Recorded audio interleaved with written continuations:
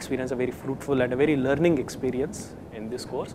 And also it gives me immense pleasure to welcome and also it's an honor to welcome our distinguished speaker, Professor Pramod Varshney. Professor Pramod Varshney, of course, all of you must be familiar with cognitive radio and uh, Professor Pramod Varshney, you might already, I mean, know Professor Pramod Varshney, several of his works, right, is one of the world renowned experts on cognitive radio. His research interests are varied. So, I will go through, of course, all of you know Professor Pramod Varshney, but let me formally introduce him to you that's uh, my duty, one of my duties as the coordinator for this course. So Professor Pramod Varshney is in fact, you'll be happy, he's from Allahabad, born and brought up in Allahabad, born on July 1st, 1952. He received all his degrees, Bachelor of Science, MS and PhD degrees from the UIUC, that's the University of Illinois, Urbana-Champaign in 1972, 74 and 1976 respectively. And following that, he has had a distinguished career as a faculty member at Syracuse University where he has been since 1976 and he has held uh, in between of course 1972 to 1976 he has held several teacher, teaching and research assistantships. Since 1976 he has been with Syracuse University which is in New York and he is currently a distinguished professor of electrical and computers electrical engineering and computer science and also the director of CASE which is the Center for Advanced Systems and Engineering. He served as an associate chair of the department during 1993 to 96. He is also an adjunct professor in upstate uh, of radiology in upstate medical university Syracuse. As you see, his interests are very varied. Is from all the way from signal processing, communications to radiology. There's a lot of applications from signal processing, I believe.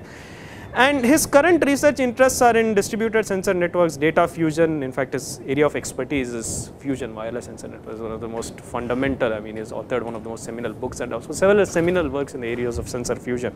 And um, he has published extensively, of course, extensive is an understatement, it's very, very extensively. I mean, one has to simply look at his publication record.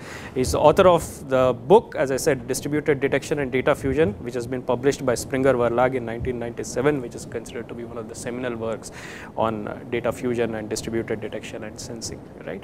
So, and his awards are of course numerous. I'll just give a brief glimpse of few. While at the University of Illinois, he was a James Scholar, a Bronze Tablet Senior and a Fellow.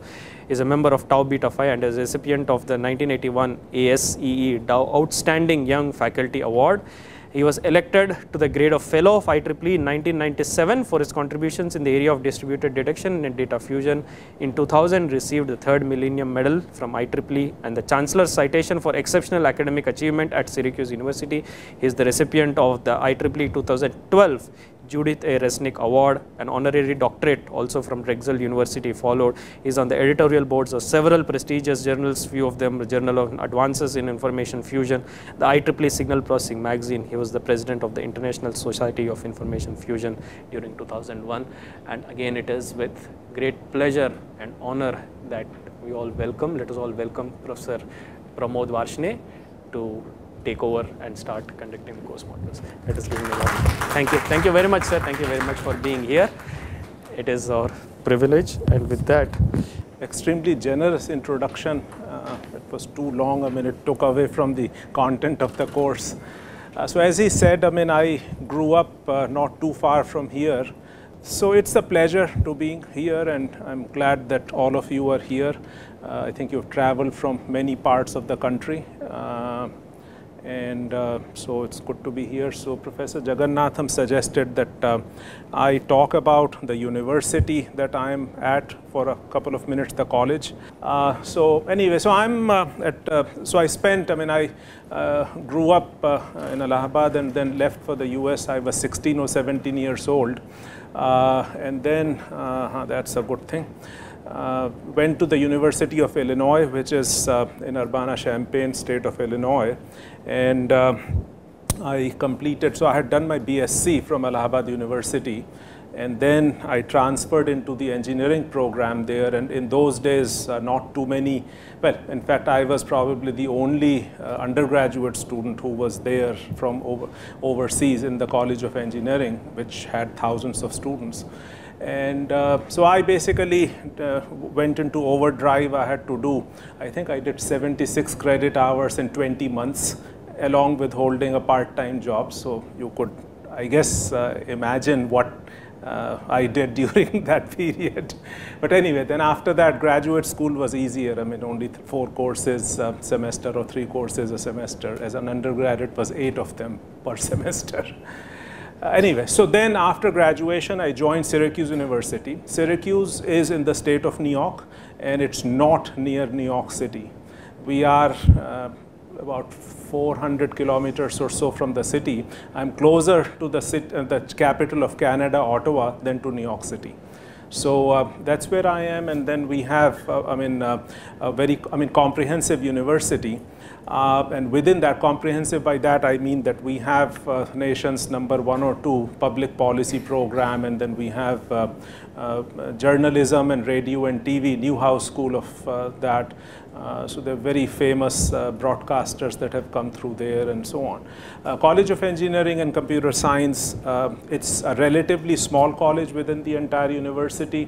We have four departments, and these are the uh, I guess some numbers as to how many BS programs within the college, how many students and so on. Uh, the research focus areas that uh, we have, I guess some of them are relevant to you and those would be the first two. Uh, cybersecurity. So basically these focus areas means that we have a critical mass, six or more faculty members uh, working in those areas. And uh, so cognitive, so I actually I work in both cybersecurity a little bit and cognitive wireless I do much more. Uh, I also, I mean, collaborate with others in different departments and so on. So that is something just to begin with, uh, since many of you are uh, beginning your careers. Uh, maybe this is, uh, since it is the Gyan course, I should give you some Gyan. Uh, and basically what that means is that uh, you ought to get out of your cubicles or your little cubby hole and you need to get out and talk to others within your own department but also outside the department because that way what you can do is you can uh, solve big problems uh, because if you are just by yourself you will be able to solve small problems tweak something and publish a paper and here and there but if you really want to make an impact you have to really go out and uh, uh, uh, work with others and really solve interdisciplinary problems and so on. So anyway, let's move on. This is something that I guess uh, I, uh, was, I borrowed these slides from my uh, Dean of Engineering, so these are her slides. But one thing that uh, is happening in Syracuse area is that uh, uh, the state is providing close to $250 million for setting up a center for UAVs, unmanned air systems. So all the YouTube videos that you see about pizza being delivered by drones and so on, uh, I mean, there are regulations and, and so on and so forth. Uh, so uh, I guess here also there are regulations. People tend not to follow them, I guess here or elsewhere, even wherever they are. but the point is that um, the center that we are setting up, that will be for certification of uh, drones. So people, companies and vendors, they can bring their uh, drone and then we will have a huge $100 million facility, a huge dome where we can create many types of conditions, wind and all kinds of things, and for testing. So I mean, so, so in a big way, I mean that's an industry that uh, we want to uh, uh, go after. Uh, there are, I mean, biomedical and chemical engineering department. Uh, let me just move on. I guess uh, this will be of more interest to you because all of you are ECS. So uh, basically, I mean, the uh, research areas in the department, if some of you are looking for uh, uh, doctoral studies uh, down the road or if your students are looking for those, then um, uh, I mean we have folks uh, intelligent systems and data mining, cognitive wireless, cyber security Energy means that smart grid uh, that is picking up steam and hardware design and computer architecture. Uh, we have like new initiatives which is MS and cybersecurity and so there are many things that uh, we have and uh, uh, I don't know what else is out there. Uh, basically, I mean, we have a very active department and we have very active folks like Tapan Sarkar, he was the president of Antennas and Propagation Society recently, IEEE uh, many NSF Career Award winners. So we have a very strong group, and especially in uh, the uh, wireless area, there are at least six faculty members, and other than me, all five are NSF Career Award winners. So uh, I'm the only one who doesn't have that distinction. Anyway, so I can go, uh, and then if uh, should I talk about, I mean, the, a little bit more about the department. I mean, who is out there? So this is just the EECS department. So, I mean, basically, a few people that I want to emphasize. I mean, this fellow Makan Fardad, he's a brilliant uh, uh, controls person, and then I work with him quite a bit on uh, resource allocation and controls sparsity and so on. So he's a very strong person. Uh, uh, Yingbin Liang, world class, I mean, just top notch uh, uh, individual, I mean, in machine learning and information theory and physical layer security. Uh, Chilukuri Mohan, I have to mention that he is a, uh, from the first batch of computer science graduates from Kanpur, so I have to mention his name. Uh, then there are, I mean, many others uh, who are doing things in uh, Vir Phoha, this is, he's a very interesting individual. He has had lots of uh, funding from FBI and DARPA and so on, and the kinds of work that he does, it's almost scary that uh, uh, if I have my smartphone and I, if I'm entering my PIN, and if there is a camera somewhere, then with over 90% to 95% uh, correct uh, probability of correct this thing, he can find out what my PIN is, what I was doing. so it's scary what he does, but these are the kinds of things that people are doing. Uh, uh, Reza Zafarani. So this is the wireless group. Biao Chen, I mean, he does massive MIMO and all that, so he would be a good person that uh, I guess we should try to talk to.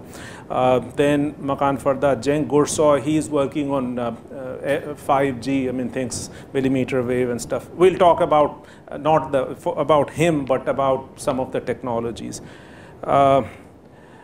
Jian Tang is cloud computing and Senem Velipasalar, is in wireless sensor, meaning camera networks. So, I mean, uh, and especially those um, uh, the uh, uh, computing is included within the camera. So a lot of that, so you don't transmit too much because these are battery driven uh, things and you want to do processing at the sensor itself. Something interesting, I guess I'm taking too much time, but let me continue since uh, uh, the main thing is that if you have the mic, people don't give up. So that's the good thing that I just want to take full advantage, I guess. So she's look, doing a project and uh, because there is like um, privacy issues are there that uh, if I'm walking into a building and there are cameras then they are actually they know who I am, what I do, and so on. So this one, what she has done is that you uh, put cameras here on yourself. So you are looking at, at the things rather than other, other, other way around. So basically you go around and then the, uh, the, uh, uh, what you are capturing, you use that to try to infer. And one ap application is elderlies. So if they fall down, then there are, I mean, the video that comes from that, you figure out if the person is falling down and then there could be an alert that could go out to wherever. So that's, uh, that kind of thing is something quite interesting. I do uh, talk, uh, tell her that, yeah, sure, your privacy is okay, but how about the other people because you are seeing other people. But anyway, so that's some, an interesting thing. Uh, it, this is not body camera. This is, I mean, like an embedded camera that on the belt. Uh, that's the experiments that she. I think so. Uh, no, that is something else, but that could also be used as long as you are wearing it and you are looking outside. So the privacy concern is gone, but then the other issues are there. I mean, other people's privacy, but I guess nobody, she, uh, anyway, so that's her selling point. And we have actually written a paper together recently related to that. Cyber security we do and electromagnetics we do a lot. Uh, uh, uh, energy, energy sources, etc. So let me just um, stop that here.